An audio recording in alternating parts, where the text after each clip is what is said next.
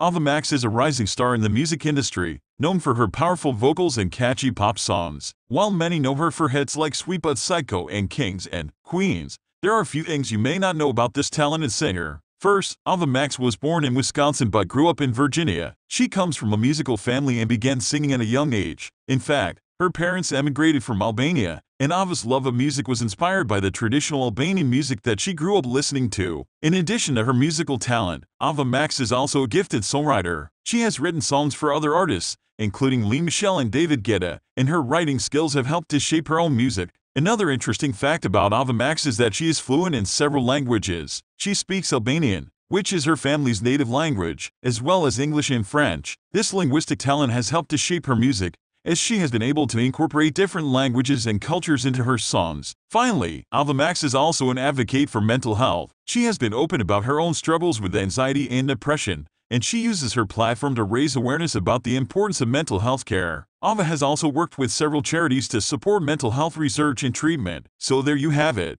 A few interesting facts and stories about Ava Max that you may not have known before. Whether she's singing about empowerment or raising awareness about mental health, Ava Max is a talented artist with a unique background and a passion for making a difference in the world.